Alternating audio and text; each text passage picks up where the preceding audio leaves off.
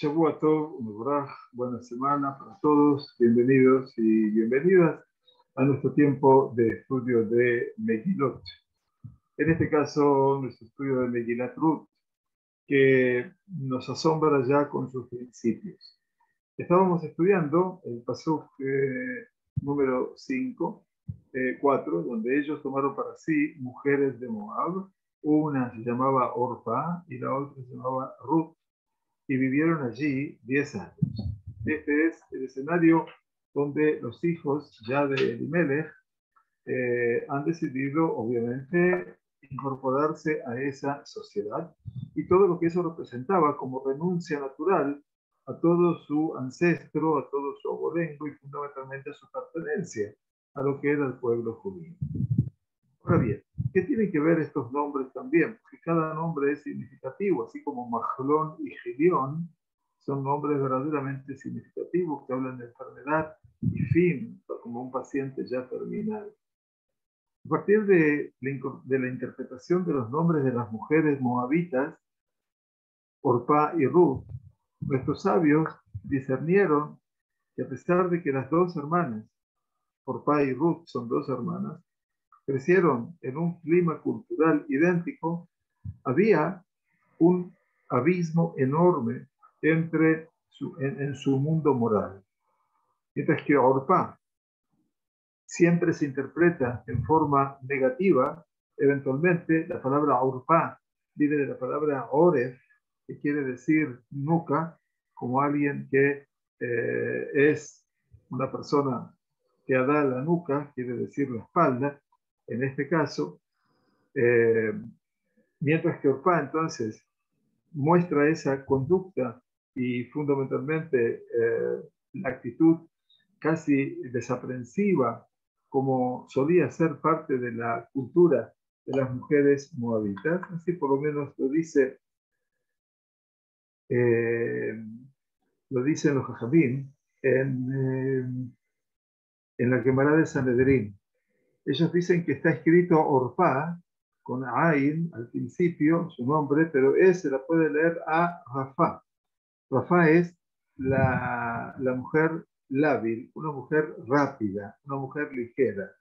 Quiere decir, er, er, Orpa llama con Hey, quiere decir, ¿y por qué se llamaba con Ain? Porque dice, todo el mundo la perseguía a ella por detrás, y uno dijo se llamaba con Hey Erpa, dice que todos obviamente eh, tenían relaciones con ella. Quiere decir que habla de la promiscuidad de esa mujer que eventualmente hacía un poco a las mujeres de Moab, porque ese escenario lo tuvimos presente cuando Amisrael estuvo bajo eh, el reto de la maldición de Bil'am. Si muchos de ustedes lo recuerdan, que Balak, el rey de Moab, recibe el último eh, consejo de Bilam, que como el Todopoderoso odia todo lo que es la prostitución, entonces sugirió a Barak que las mujeres de Moab y de Midian se prostituyan con los hombres de Israel. Y este es el sentido de esta mujer Orpa, la característica de la nación Moab. Mientras que Ruth, obviamente, su nombre ha sido referido aquí en el sentido positivo, en el sentido de una alabanza, ya que sus actos nos demuestran y testimonian que el centro esencial de su vida está puesto allí en lo que es el mundo espiritual y el mundo moral. Ruth Shaita Meratahat dice, las otras son había Sheva Shomaim, dice el Midrash de Ruth ella Martajat, et et se exponía casi a peligro de vida inminente con tal de que para hacer la voluntad de su Padre Celestial. O sea que también tenemos aquí dos mujeres nacidas en el mismo ámbito y que en, cualquier circunstancia son dos abismos desde el punto de vista de sus conductas. Ahora bien, en una mirada un tanto más amplia, eh, vamos a ver que ese antagonismo es mucho más grande entre los dos hermanos, eh, que era mamás entre los patriarcas de la nación israelita. Cuando uno eventualmente ah, se consolidó en una condición que le permitía encontrarse con Dios y reconocer el alma, el interior de este mundo, el otro se quedó en medio de la cáscara con la actividad y el punto de encuentro entre esos mundos es solamente a partir de una envoltura exterior.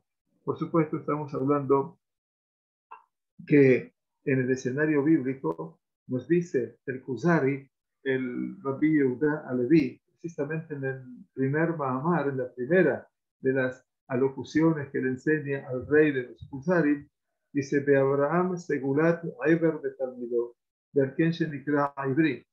Dice que Abraham tenía la seguridad, la peculiaridad de Eber. Eber fue el hijo de Noah, como todo el mundo recuerda, y es el Bet Midrash de Shem y de Eber. El Bet Midrash de su bisabuelo primero, Shem, a donde Rivka va a consultar tras la alteración que siente durante su embarazo, y el Bet Midrash de Eber, que va a ser el protagonista ahora cuando Jacob se vaya en en este Shabbat, Jacob y Beersheba, Harana, cuando se dirige a Harán desde Beersheba, y a partir de allí pasa 14 años en el Bet Midrash de Eber. Dice que Abraham es Segurat Eber de Talmidó. Tiene la peculiaridad de Eber y fue alumno de Eber, y por eso se llamó Abraham Aibri.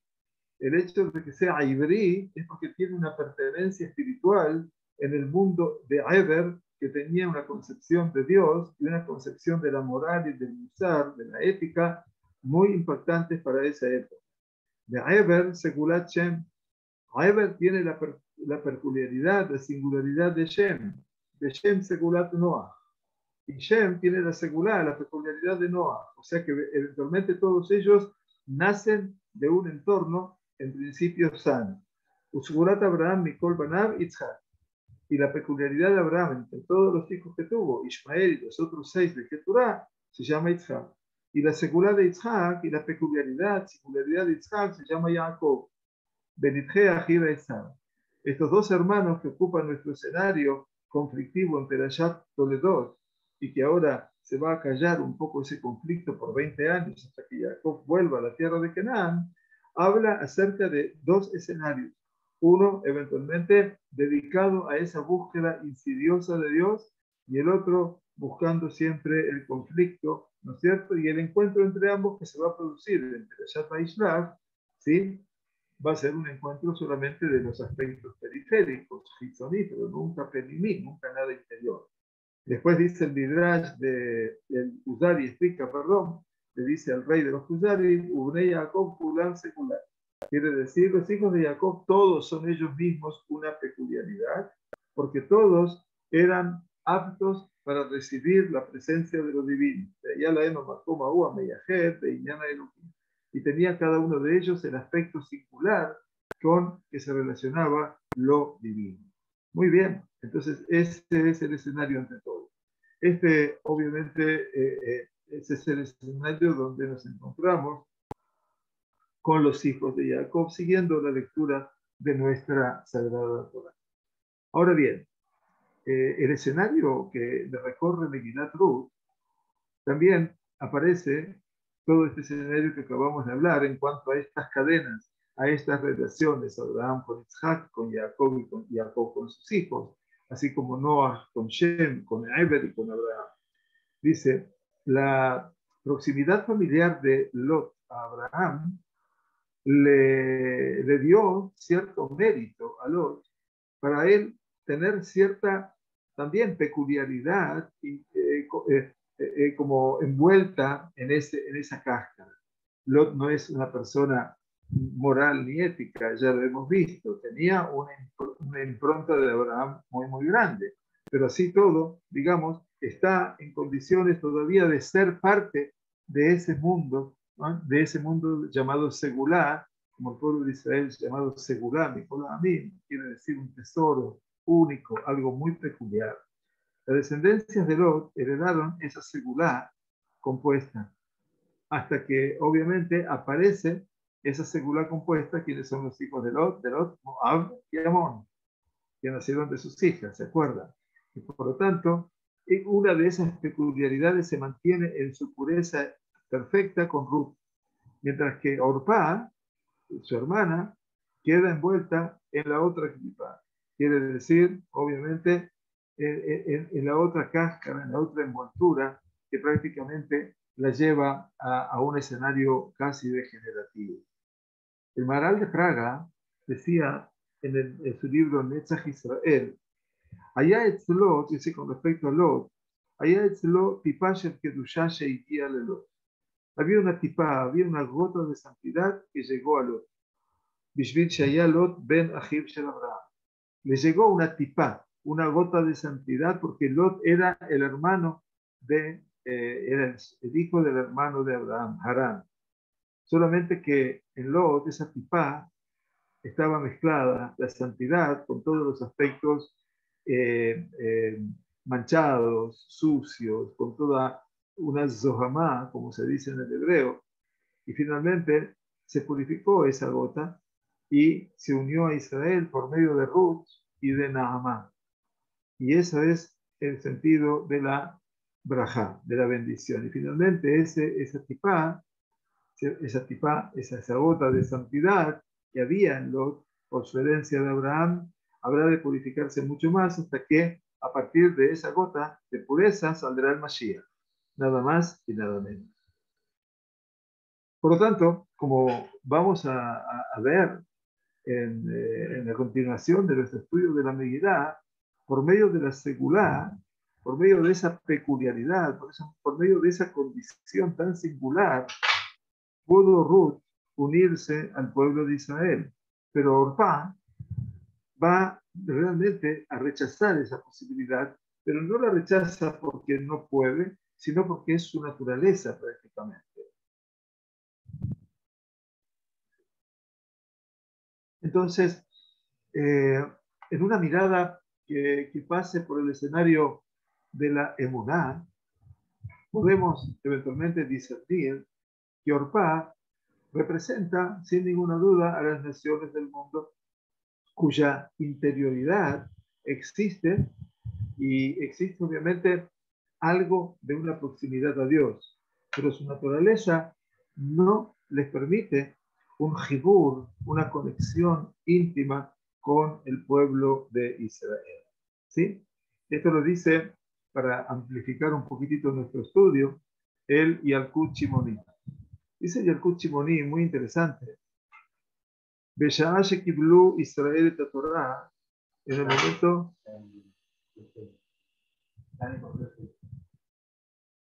en el momento que Am Israel recibió la Torah en el monte Sinaí, Todas las naciones del mundo tuvieron celos y envidia del pueblo judío. Ellos sostenían, dice Jacob Simón, dice, ¿por qué los judíos, por qué el pueblo de Israel ha tenido el mérito de acercarse a Dios más que cualquiera de las demás naciones? Dice entonces lo que dice que todo el elemento este de la proximidad a Dios es algo por el cual fue un momento en el cual el monte Sinaí, ¿por qué se llamó Sinaí? Se llama Sinaí, dicen los jajamim de la Gemara, Mipneshe Yarda, Misham Sin Ala Increíble lectura. Porque allí cayó la Sin'a, quiere decir el odio al mundo. En vez de, de poder ubicarnos en todo un escenario de lo que representa el, el, amor, la, el vínculo, el hecho de poder sentirse congraciado y agraciado por la presencia de Dios en el mundo y tomar eventualmente eh, el modelo de lo que representa esa presencia de Dios y su mensaje. Al contrario, las naciones del mundo que entendieron, las naciones del mundo entendieron que es el momento que el odio ha caído en nuestro mundo. Y eso verdaderamente es complejo, pero esta es la realidad que nos invade en el momento que se entrega la Torah. Nunca las naciones pudieron lograr ese jibur con Israel. Y, si bien esto lo dice Yalkut Chimoni, que es una colección de Midrashim de hace del año 1400 aparentemente, estamos en el año 2021 o 2022 próximo ya y, y, la realidad no ha cambiado. E, espiritualmente las naciones del mundo no pueden concebir el fenómeno de eh, Israel. Por lo tanto, eh, debemos entender, dice eh, el Radak, Rabbi David Kimchi, que nuestra Megilá se está ocupando básicamente de las raíces mismas del reinado de Israel y que fue puesta sobre una de las piedras fundamentales, piedras angulares en el vínculo de Israel con las naciones. Esa forma de, de, conexión individual y su, y su, sumarse al pueblo de Israel pueden solamente aquellos cuya naturaleza o en cuya naturaleza, diría el Radak, existe una tendencia divina pura. Existe una tendencia divina pura. Pero mientras aquellos que están todavía rodeados por esa, ese, ese, ese esa, esa clipa, esa cáscara, llamémoslo así, obviamente no van a poder acercarse jamás a esa esencia. Es interesante la, la Gemara de Abodal Zara, el Talmud Babi en Abodal Zara, 22b. Dice, Israel Shehamdu al Sinai Pascazo Amatán. Dice, cuando Israel tuvo el mérito de estar parado a los pies del monte Sinaí, ahí finalizó todo el aspecto de contaminación que habían sufrido durante el exilio en Egipto. Obdeco Javim Shelo Amdu al Sinai lo Pascazo Amatán. Pero mientras que los idólatras que no estuvieron en el monte Sinaí, su aspecto de, contaminación eh, nunca terminó. ¿A qué se refiere todo esto? Eh, Pascaso Amatán es porque el momento que nosotros estuvimos con un mérito adicional que Kadosh Baruj nos regaló, Iru Carvano Lifne Arsenai, Dayenu, decimos en la festividad de Pesach, si tan solo nos hubiera acercado al monte Sinaí, hubiera sido suficiente. Y que dice pero ¿cómo? No vamos a recibir la Torah. Sin embargo, dice que el hecho de haber llegado hasta allí y el hecho de habernos parado delante del Todopoderoso y el hecho de haber dicho Naaseh Ishma, en ese momento nosotros en el monte Sinaí pudimos detener lo que había empezado hace 26 generaciones atrás. Sí, sí, 26 generaciones atrás con el primer ser humano. Porque cuando el ser humano desobedeció, cuando Adama Rishon desobedeció la orden divina, en ese momento la Zohamá, la, la serpiente, eh, logró instalar e instilar su veneno. Esa zoamá significa una, una eh, contaminación a nivel espiritual. En el momento que estuvimos en el Sinaí, Pascal logramos terminar con una parte de esa, de esa contaminación, pero las naciones del mundo que no estuvieron, lo Pascal Y entonces, obviamente, que dice el, eh, dice el Shelah Kadosh. Eh, eh, Shelah Kadosh es Rab, eh, Rabbi Shayahu Orovitz, que escribió un libro llamado Shene Luchot Abrit, las dos tablas de la ley. Shelah, Shenei, La, Luchot, Hei, Abrit, las dos tablas de la ley. Dice en su comentario a Masejet Shebuot, Shebuot, sí, perdón, de David Amelech Alaba Shalom, Abba Mirut Amar. Dice y David Amelech, que viene de, de Ruth, dijo, Ger Anoji Baal. Dijo, Ger Anoji, extranjero soy Anoji, yo en la tierra. Dijo, dice el Shelah Kadosh, Anoji Beloani. Y a Gerim, y Gama Erim, Ayube Bamat al Sinai, de hacer el Tadibota Matjerim Anoji. ¿Por qué? Porque los Gerim, los conversos de fe, los conversos de justicia, obviamente, estuvieron allí en el monte Sinaí por eso dice que escucharon la palabra Anoji. Por eso David Amérez dice Ger Anoji. No dice Ger Ani. O sea que David Amérez también reconoce su origen en, la, en, Ruth a Moabia. Muy bien. Eh, y entonces ahora eh, volvemos a, nuestra Megillah. Y nos dice entonces el, el versículo 5 y murieron Majlón y Quilión, y la mujer se quedó sin sus hijos y sin su marido. Bueno, Vayamutu Gam Shenehem, Majlón de Gilión, Batishaera Isha, Mishnei la León Isha.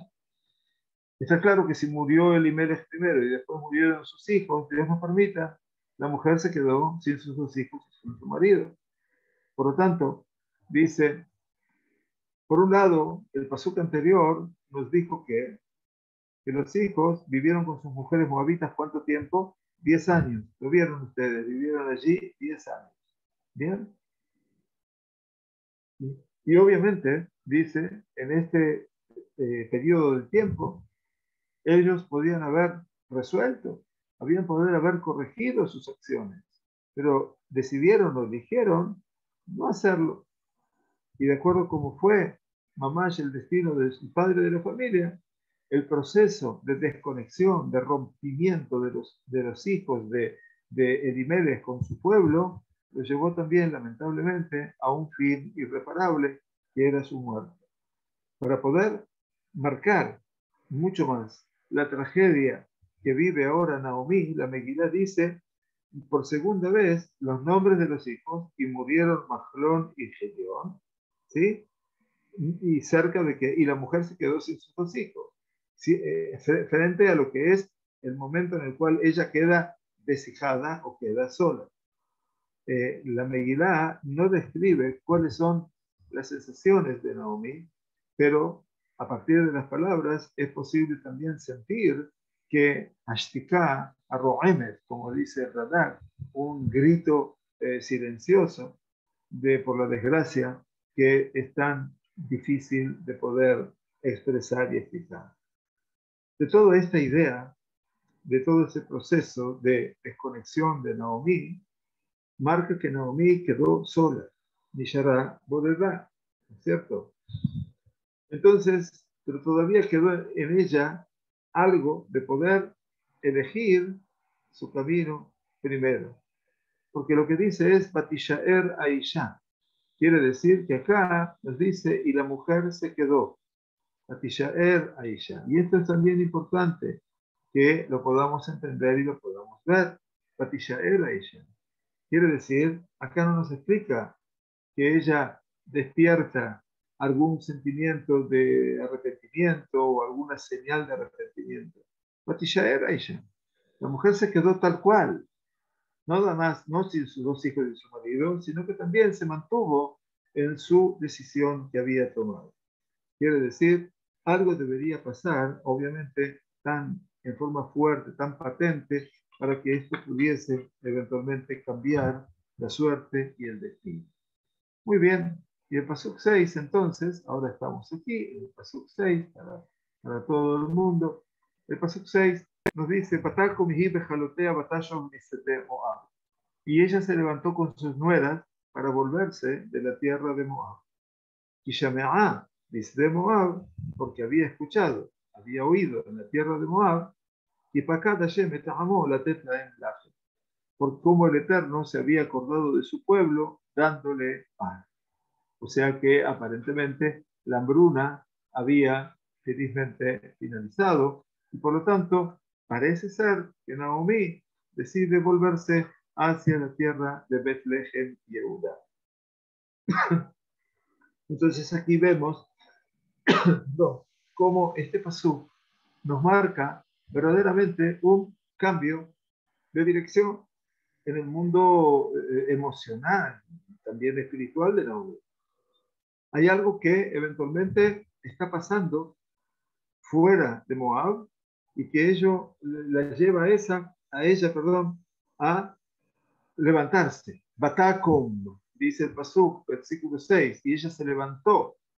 Levantarse significa Levantarse es despertar en ella la voluntad de querer volver, porque dice, Bataco mi se levantó ella y sus nueras, eventualmente, para volver. Quiere decir batallo. Es decir, que a partir de ahora, ahora en sí mismo el proceso es personal. Ella, Bataco, ella se levantó, no Bayakumu, se levantaron. O Bayashubu, volvieron. No, Bataco, batallo ella en forma personal es la que quiere emprender este camino. Y sus nueras aparentemente se adosan, se adjuntan a ella al principio sin saber cuál es el próximo paso a dar.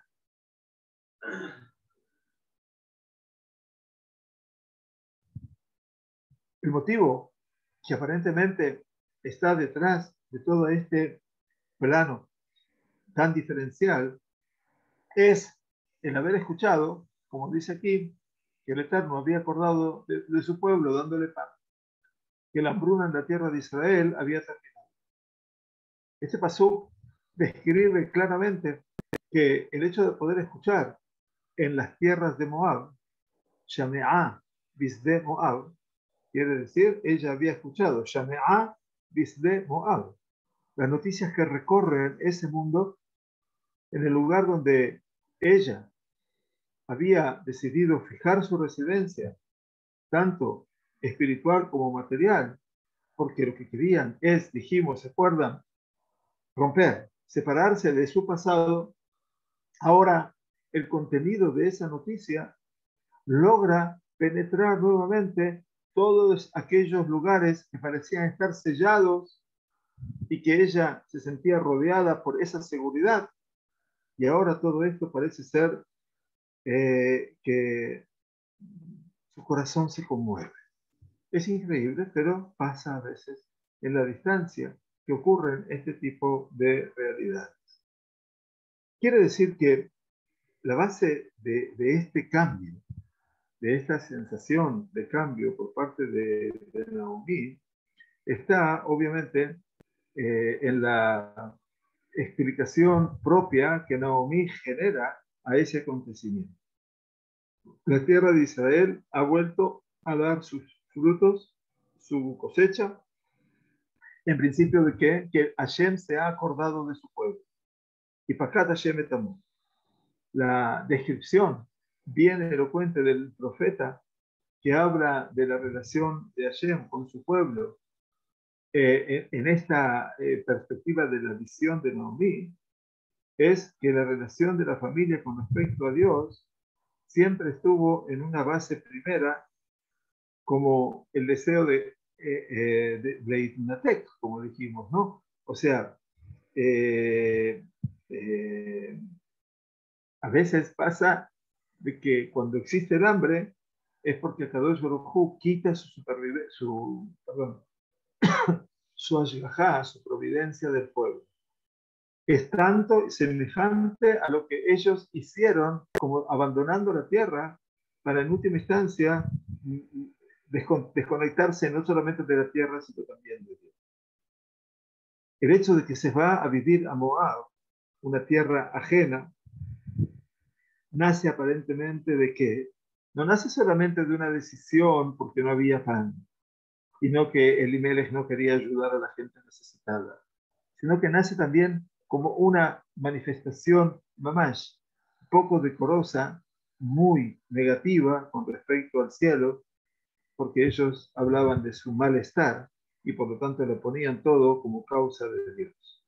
El punto de partida fue el hecho de que Dios había abandonado a su pueblo, había producido los años de tanta hambruna y esa situación desesperante, y el hecho de que ellos se fueron de Israel hacia la tierra de Moab, hablaba que no estaban prácticamente eh, eh, interesados en ser parte de ese pueblo judío y por lo tanto eligieron con mucha eh, animosidad y con mucha avaricia en contra de la naturaleza que ellos habían conformado dentro de su propio hogar, el hecho de poder ayudar a los demás. La decisión de Naomi entonces vuelve de volver a su pueblo, precisamente aquí presenta en los comentaristas, distintos comentaristas, varios de ellos, tres, cuatro, cinco, algunas dificultades de comprensión. Eh, el Pasuk no nos dice, eh, no nos describe que Noemí o Naomi sufrió de hambre en la tierra de Moab. Y la continuación de las desgracias. Murió Elimelech, después murió su hijo y después murió su otro hijo, que marcaron un poco su destino en la tierra. No fue lo que produjo un impacto en su alma, así como lo que no entienden los comentaristas es ¿qué la llevó a dejar Moab? ¿La muerte de los hijos o que Dios se recordó de su pueblo y trajo nuevamente el grano? Quiere decir la comida. Esa es la pregunta. Entonces, ¿qué pasó con Naomi? ¿Por qué volvió a su pueblo? Después de que había buscado eventualmente alejarse de su pueblo completamente y romper todo vínculo. Dice la Perashá, dice el Pasuk, perdón, que Pakad Hashem, que Hashem se había acordado. Pakad Hashem. El verbo lifkod es un verbo muy interesante, muy importante en todo el escenario bíblico. Vamos a recordar que en, la, en el Perashat eh, Bayerá, que cuando se le promete a Abraham y Sarah que habrían de tener un hijo, va Hashem pakad et amar. Vayas Hashem le Saraka Hashem et no quiere decir que la visitó, como siempre se traduce. Y significa que la vino a visitar. No. Lifkod, pakod, es que Akadosh Baruj tiene siempre presente su tarea, y por lo tanto, así como le prometió que Sarah sería madre, al año va Hashem Pakat el Sarah, Hashem tal cual lo había dicho. Por tanto, también cuando también para saber y para comprender eventualmente la realidad es que cuando eh, Yosef se despide de sus hermanos en la tierra de Egipto, él les dice cuál sería perdón por la denominación, la definición del password, que sería aquello que vendría en el recorrido de los tiempos, después de 200 años, en las palabras de Moshe. Ve y dile al pueblo, Pakod pakadeti etchem. Pakod pakadeti. Y eh, Yosef le dijo a sus hermanos, Pakod ifkod Hashem el etchem. Hasta os va a acordar, pero ese recuerdo es el mismo recuerdo de Sarah. Es un recuerdo activo.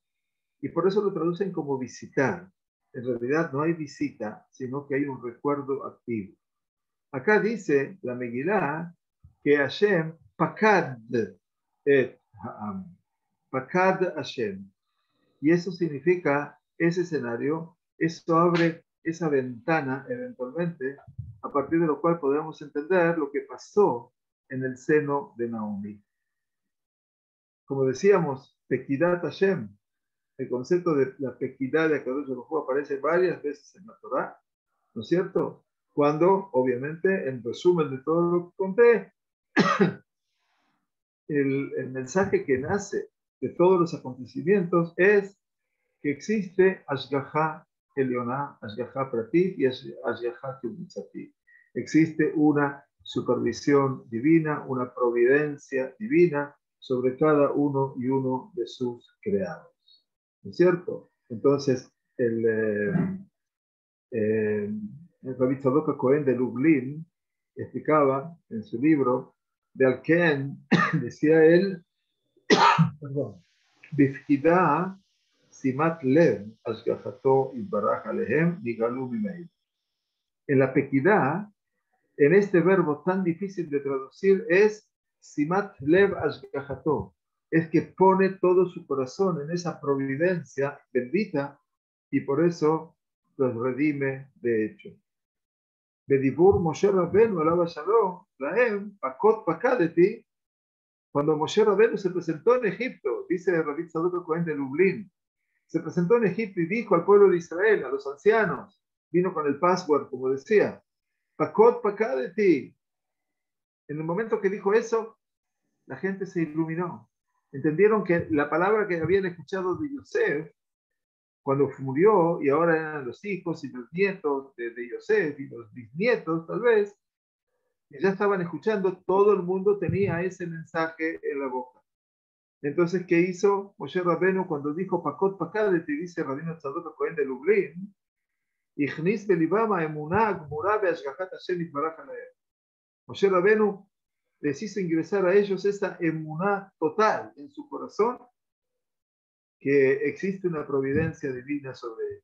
Entonces dice el rabino, maravilloso, vino a Emet de itbarach Entendieron la verdad que hay un Dios, bendito sea, que los estaba evocando y recordando. Y dice en una frase maravillosa también, después de que Hashem se había revelado en la profundidad de sus corazones, y esa revelación era que Hashem sí está y que Hashem se hace presente, Cuando Moshe dijo lo que dijo, todo el pueblo creyó. Después vinieron las crisis, pero no importa. Entonces es ese momento en el cual desde Simana Pequida. Esta es la señal de la pequidad. Cuando eso entra, cuando ingresa en el corazón, dice Rabino Tzadok Cohen de Lublin, esa emuná que Kadosh Baruchu, Oked Umashgiach. Se acuerda de mí, pero se acuerda activamente de mí, proactivamente de mí y también Mashgiach. Su presencia es totalizadora. Y a mí personalmente eso me, me, lleva a entender que hay algo que se descubre en Naomi en ese momento. Entonces, eh, eh, esto es lo que dice Rabino Cohen de Lumbrir, Sadok Cohen. La pequidad, ese, acordarse activamente, le concede al hombre de Israel esa posibilidad, esa forma de aproximarse a la, a la fe, a partir de la cual la persona con esa porción de fe nata, total, dentro de sí, podrá echar una mirada hacia la realidad. Inclusive, dice, si antes, en el pasado, había desesperado y no tenía la misma mirada. La esperanza de Israel por la que por la redención, en los días postreros, en el final de los tiempos, se basa precisamente sobre esa promesa divina que fue dada en el pasado y cuyo proceso de concreción será considerada como una pequidad. Esto es lo que dice el profeta Yehezkel en el capítulo 37, uno de los capítulos más emotivos que los invitamos a leer para que vean el relato de los Atzamot Yebeshot, de los huesos secos, que eso representa el nuevo derrotero del pueblo judío en medio de la diáspora resucitando como cuerpos muertos. Por lo tanto, eh, Naomi descubre aquí que el hecho de que se haya finalizado el hambre en la tierra expresa también ese pacto eterno entre Israel y su creador. Y hasta aquí parecía como un pacto oculto. Ahora a Naomi le queda claro que la época de la hambruna en la tierra no nace de lo que ella pensaba, de que hay hambre porque Dios me abandonó, sino que hay hambre como consecuencia de las acciones de la generación. ¿sí? Entonces, ahora entiende que la realidad de la época de los jueces, obviamente, marcaba una época de deterioro en lo moral y en lo espiritual, y por lo tanto el problema no es que Dios se oculta, sino que el pueblo no se torna visible. Entonces, a partir de esta adopción, de este principio de fe, obviamente es que ella ahora entra verdaderamente a dudar, entra verdaderamente a poner sobre el plato de, de las resoluciones si su desvinculación con el pueblo fue verdadera y por eso empieza a retornar a Tasho, el amar. Pero claro, hasta aquí acompañaron sus nueras. Y ella dice, y ella se fue del lugar donde estaba, y sus dos nueras fueron con ella. Y prácticamente tomaron el camino del retorno a la tierra de Judá, como ustedes están viendo. Entonces, aparentemente ahora de vuelta me marca que ella se fue, se fue de donde estaba, la tierra de Moab, sus dos nueras van con ella, todavía no sabemos por qué, y tomaron el camino de retorno a la tierra de Judá. Parte del proceso de retorno es salir de aquel lugar donde yo me quedé fijo en mi pensamiento y a veces me quedo con un pensamiento y me quedo estancado en ese lugar. Pero cuando cambia la conciencia del ser humano y dice, no, no, no, no, ya no puedo seguir aquí, por esta razón, a partir de allí se da el primer paso obligatorio en la elección de un camino nuevo. Así lo dice el eh, Rav vamos a estudiarlo la próxima semana, con favor de Dios con respecto al proceso de la Teshuvah. Por eso dice el texto nuestro vuelve y describe que Naomi, su ser, y ella se fue del lugar, Hayeta, donde estaba. Quiere decir, ella se mantuvo en el mismo lugar de corte, de distancia, y para poder, y, y para poder retornar a su pueblo, ella tiene que salir de esa percepción primera. Y por eso dice, y ella se fue del lugar. Lo primero que dice, porque de donde estábamos ella sabía, pero ella se fue ahora del lugar. Y esto es lo fundamental, se fue de ese lugar, donde estaba. Ya no sigue pensando con ese pensamiento y ahora eligió irse en un camino que la conduzca a ella nuevamente a su tierra natal. Y a pesar de que Naomi podría haber elegido vivir en cualquier lugar de la tierra de Israel, volver a la tierra de Yehudá, como ustedes ven, el retorno a la tierra de Yehudá, esto también habla de un fenómeno muy interesante, porque esta mujer podía haber ido a cualquier parte de Israel. ¿Para qué volver? ¿De dónde se fue? ¿Cómo la iban a recibir en ese lugar? ¿verdad? Ella eligió volver a ese lugar y entonces eso, dice Radak, viene a marcar que este proceso de volver al primer punto de donde ella comenzó su caída. En Bethlehem, ella empezó a aparecer, en Bethlehem donde vivían, es donde ella marcó, la familia marcó el punto de desconexión, de ruptura. Y ahora vuelve al mismo lugar. ¿A partir de qué? Porque siente, no hay ninguna duda, una suerte de vergüenza, eventualmente, que está ligada a, volver a ese lugar, para que ella pueda, aunque la avergüencen, pueda volver a corregir y volver a vivir en ese lugar como la primera vez. Ahora, en la realidad de este versículo, sus nueras caminan siguiendo a Naomi sin saber lo que está pasando en su fuero interior. Ella va y sus dos nueras fueron con ella.